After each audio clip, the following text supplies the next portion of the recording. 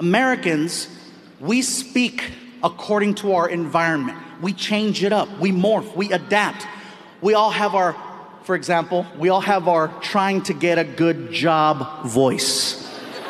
When you walk in for that interview, you don't sound the way you sound on a Saturday night when you're having a couple drinks. No, you clean it up, you practice in the car, and when you walk in, you turn it on.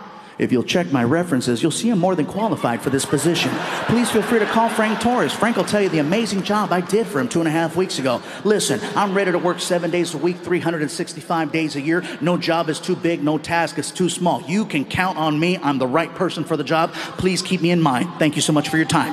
And then you get to the parking lot, and then you get to the parking lot, and you're like, hijo la chingada, ojalá que me dé trabajo porque no, no, está cabrón, güey, man. No, I need a job, man. I need a job.